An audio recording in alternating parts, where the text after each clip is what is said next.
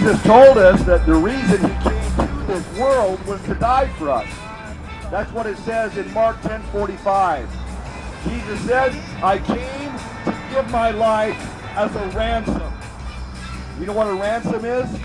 It's a payment made to set someone free. Jesus Christ paid for his life to set you free from the judgment in hell. That's why Jesus came to this world. I'm asking you to believe in the Son of God for your salvation. I'm asking you to believe in the person and finished work of Jesus Christ. The Bible says in John 3:36, He that believeth on the Son hath everlasting life. Do you believe in the Son of God? If you believe that Jesus Christ is the Son of God and your Savior, you have everlasting life. You're going to live forever in heaven because of your faith in the Son of God. But if you don't believe in the Son of God as your Savior, listen to this. It says, He that believeth not the Son shall not see life. Instead, the wrath of God abideth on him. Think about that. If you do not believe in the Son of God, Jesus Christ, as your Savior, you don't have everlasting life in heaven. Instead, you have the wrath of God abiding on you. But I came here tonight to tell you how to get the wrath of God off of you and receive forgiveness and salvation through faith in Jesus Christ. You know why Jesus Christ is called the Lamb of God? Because he was slaughtered on a cross. He was sacrificed on a cross for sin. He died on a cross to pay for your sins and mine. That's what Jesus did for you and me.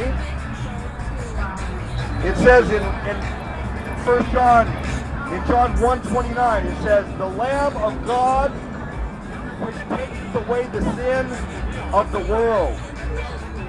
Called the Lamb of God because he was sacrificed like a lamb. Sacrificed on a cross for your sins and yours and mine. Jesus Christ died on the cross and paid for all our sins. And if you trust Jesus as your Savior, young man, you're going to heaven. But if you trust some other way to get to heaven, you'll end up in hell. That's what Jesus said. He said there's no other way to get to heaven. You need Jesus Christ as your Savior.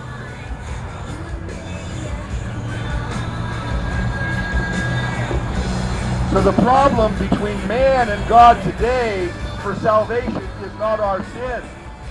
Because Jesus Christ paid for your sin 2,000 years ago.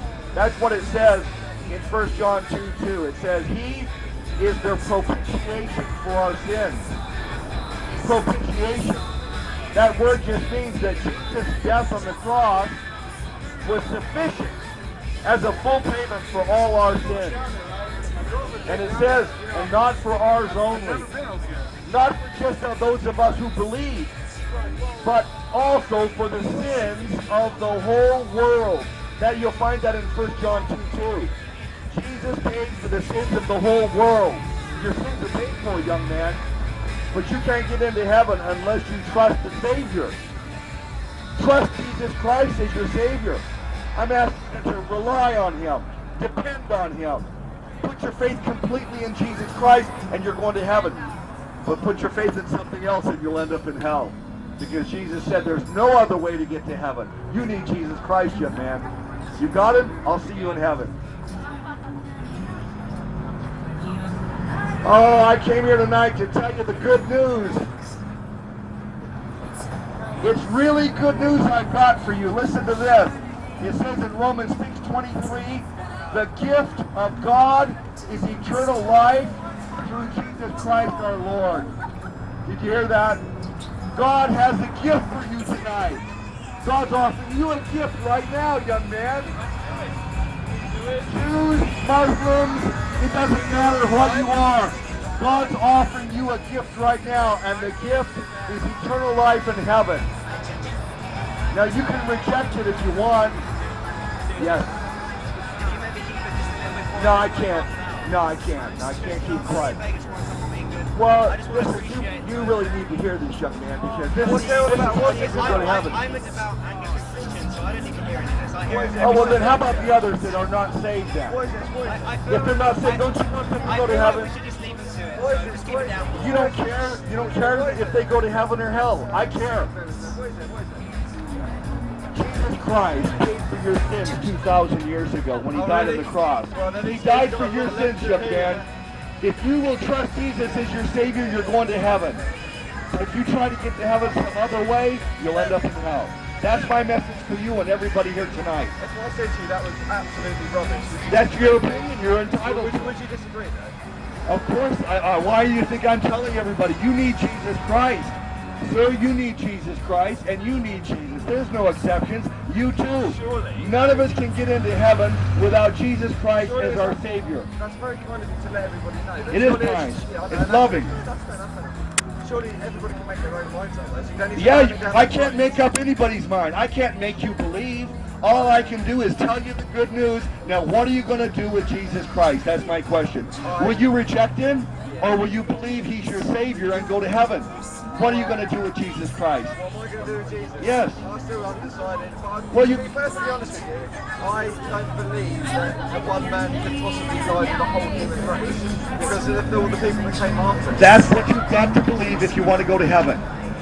You've got, well then fine. I want to I can't make you believe, can I?